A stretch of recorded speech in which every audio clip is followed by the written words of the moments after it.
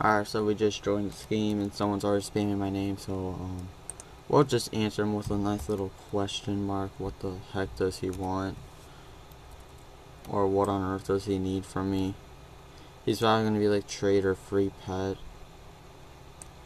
I'm just going to predict the future that someone's about to say free pet and the video is just going to about to end. Soon, I don't know. Wait, did I just say soon? I mean, I mean soon. My grammar's so bad because...